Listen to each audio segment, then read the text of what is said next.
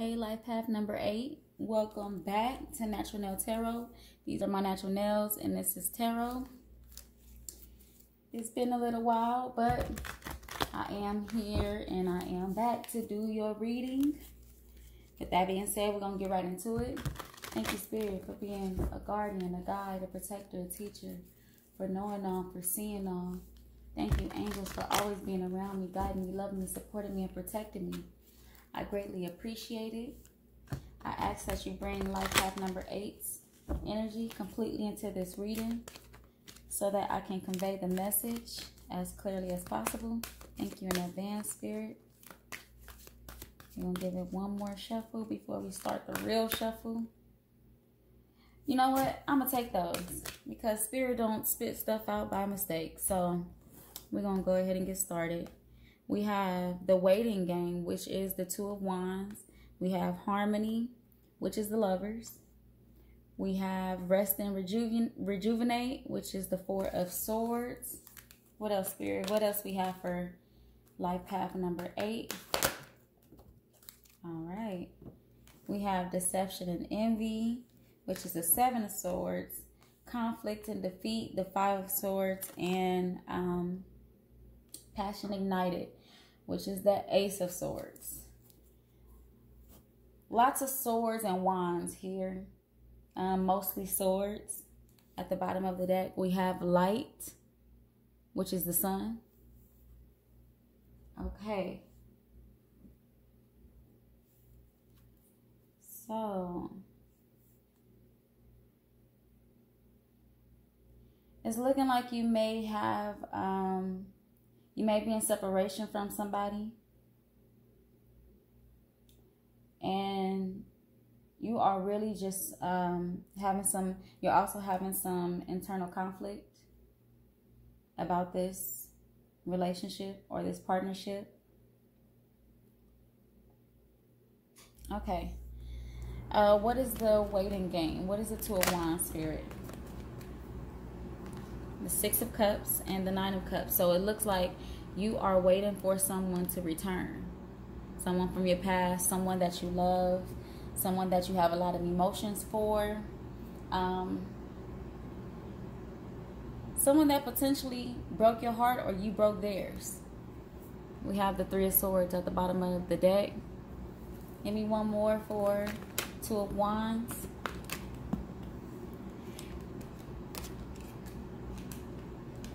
We have the Hierophant and the Four of Cups.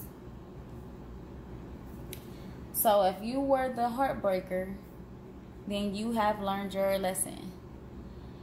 And if they were the heartbreaker, they have learned their lesson. So it could be vice versa. It could be somebody waiting for you to return to them. Um, somebody's watching somebody with the Page of Swords at the bottom of the deck. What's the lover's spirit? Okay, we have the Four of Wands. So that, that speaks to a couple or um, a marriage, a soulmate connection. It could definitely be a soulmate connection with the Six of Cups. We have the Seven of Pentacles, waiting again, having to be patient. Uh, trapped in your head about this wait, about this patience, about this connection trapped in your thoughts. What else, Spirit, for the lovers? We have the Two of Wands again. You are really looking outward.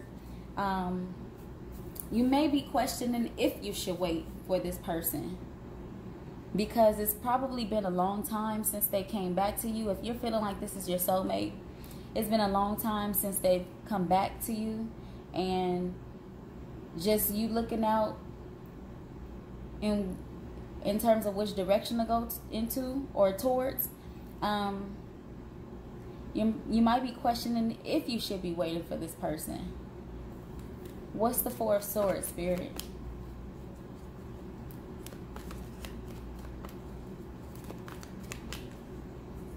What's the Four of Swords?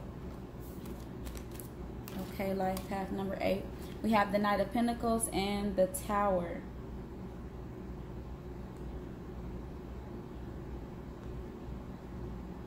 Okay, give me one more. The Six of Pentacles.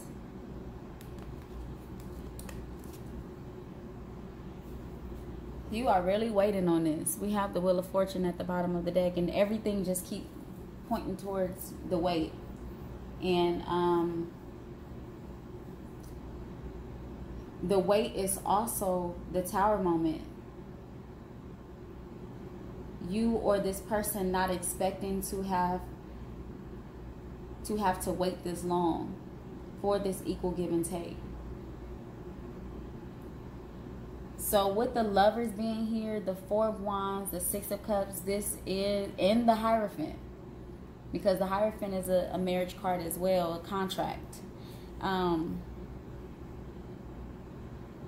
if this person hurt you and you're waiting for them to return because you may have gotten some some type of downloads that this is your soulmate which is why you're waiting for them to come back even if they did hurt you. You may be feeling this in your intuition that this is uh, your soulmate. Either way this is also a soulmate from a past lifetime we have all the cards here that that speaks to that. With this lovers and the six of cups the hierophant the four wands. Yeah this is a this is a soulmate from a past lifetime. Um they may have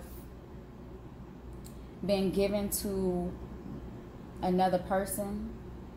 When we seen that three of swords another person or thing giving more of their time to that person or thing, breadcrumbing you, um, but needing to restore balance. You may have gotten downloads that this person will come back and be right for you. What's deception and envy, spirit? What is the seven of, of swords?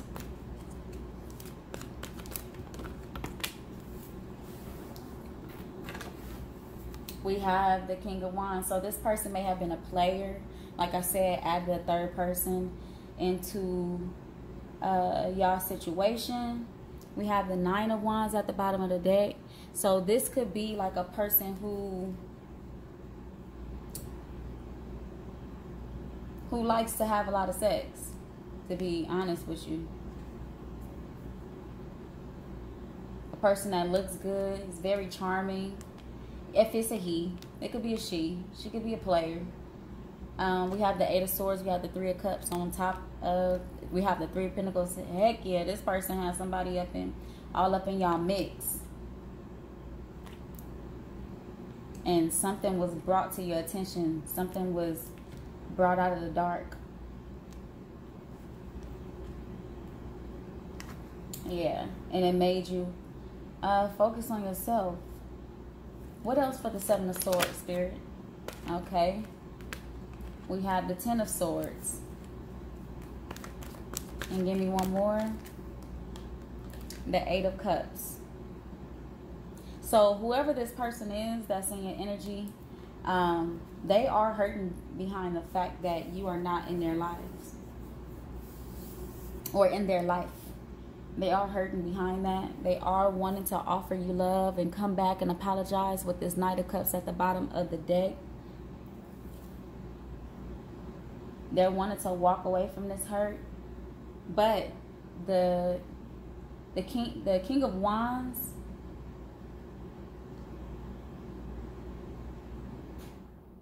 could be a very egotistic king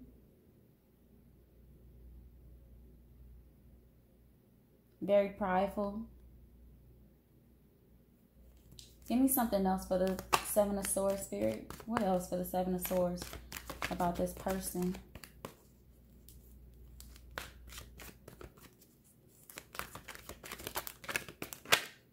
The Empress. And they see you as... They're wanting to come back to you. They see you as beautiful. Whatever, whatever they went towards It may have looked good and wasn't good for them. You brought balance to their life. You um you fed their soul. They see you as very very beautiful, a, be- a beautiful person um, all the way around, inside and out. Strong. They see you as strong as well. But wherever they went to, it didn't end well. Okay. What's for conflict and defeat? What's the Five of Swords? Ooh, goodness. this person, when I say they going through it, they are going through it. He, we have the Eight of Wands, the Five of Cups, and the King of Cups. So you have forced this person to connect to their emotions, to face their emotions because they were moving out of uh, they were more so moving out of the energy of passion so you really force them to feel and they thought they could treat you like just a, a energy that they didn't need or that they can have multiple people around or deal with other energies. But you're not that. You're the Empress. The Empress energy.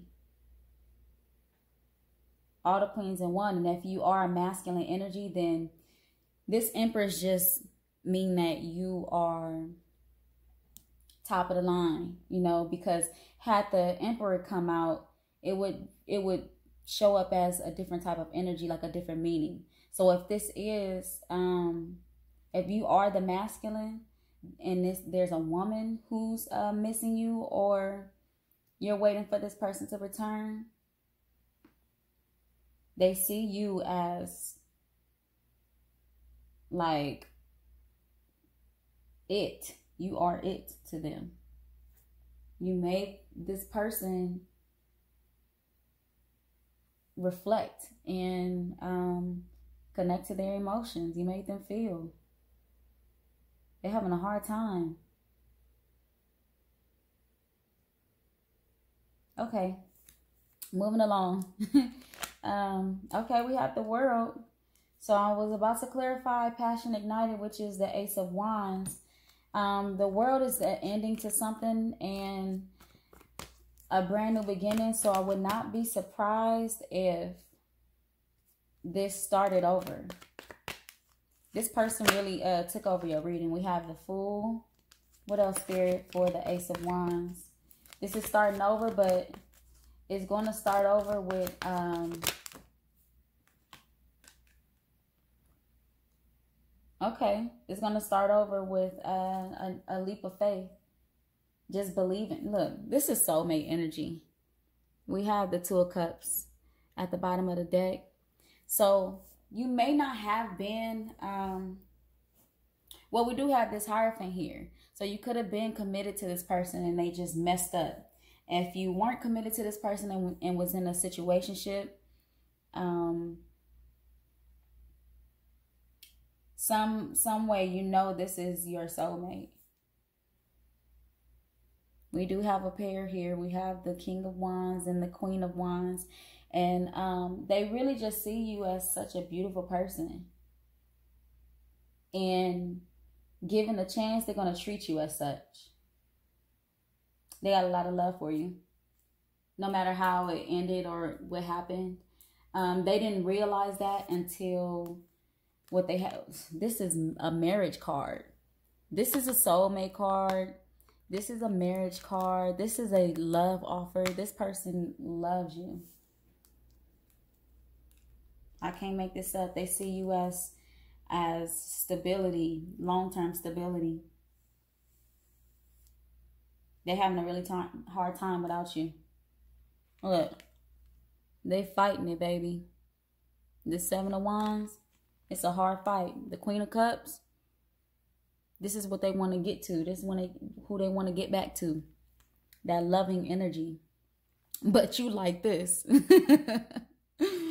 like you, even if you know this is your soulmate, you're not going to be the first one to reach out. That's for damn sure. You're not going to do it. But I also don't think that you're supposed to. Let them, you know, release their ego and, and let their guard down and hold themselves accountable for their actions. Okay. Let's uh, do divine abundance. Spirit, what divine abundance do you have for life path number eight? This person is really in regret. Okay, sometimes surrender is painful. God's cutting away all that needs to go illusions, obsessions, addictions. It's a sacrifice to love. So I think, you know, like this person has taken over your reading, but this is more so for them. Like I said, they may have really been like a player and really, you know, into sex. Um and if this is you, then, you know, own that. But um they're having to release some things in order to make this right and and actually be a good soulmate for you be the soulmate that spirit wants them to be for you so they're they're having to sacrifice who they were for who they're becoming in order to uh, be who they're going to be as an individual and alongside of you worth you have been worthy to belong to love all along without any need to improve. In fact, you are love itself.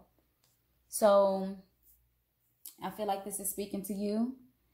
Um, knowing your worth in which you have, especially if y'all were um all if y'all are in some type of if y'all are separated, for you to have walked away, um, it was meant for you to do that knowing your worth has been important in this. Even if you knew y'all were soulmates or know y'all y'all are soulmates and this will come back together uh, you know your worth and and whatever was being given if it wasn't right and you walked away because of that that's that's what was supposed to happen you are worth love not games and not um that fake love you know the love that don't feel good or or the fake love that comes with someone's pride and someone's ego.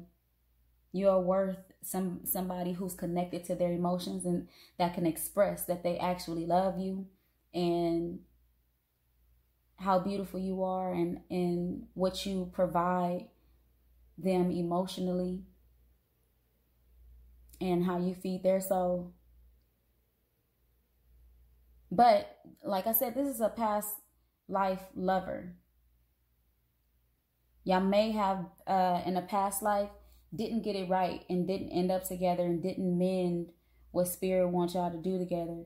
But this lifetime is looking like it's going to happen with this world card here. All of these, a lot of these cards are screaming soulmate energy. So, um, hopefully this is what it is for you. You know, like you are actually getting those downloads that this is your soulmate. Any Starseed Oracle Spirit? Give me one more, please.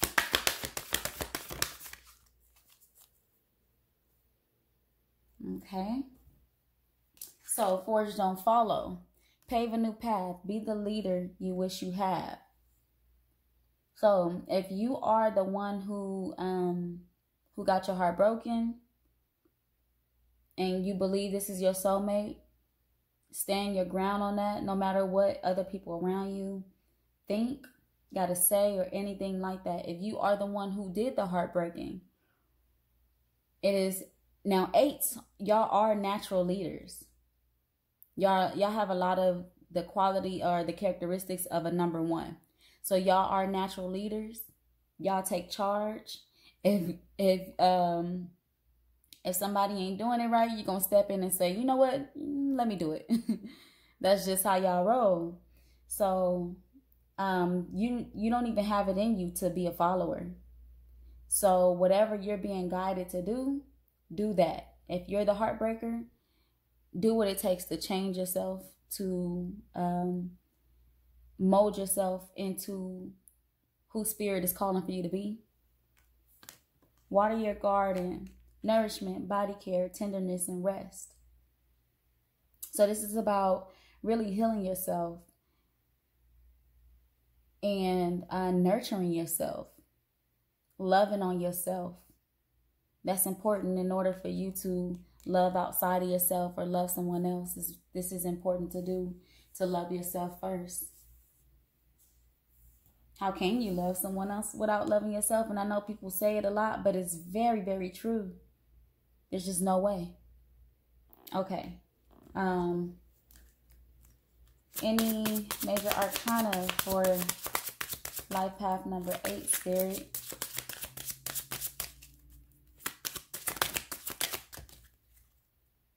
We have judgment at the bottom of the deck. That's really a call on looking at self. Sometimes it's it's the most high got got its eye on you. Justice and the devil. So this speaks to whoever did the heartbreaking getting their karma, but also releasing behaviors and attachments. Um, like we said with this sacrifice, this divine abundance card, uh, releasing behaviors, attachments um, that that are not serving you, that are not growing you. This could be for you or the person in your energy, but this is just saying that this needed to take place in order for this to come together and be what spirit needs it to be for the universe, for the earth, for the for society.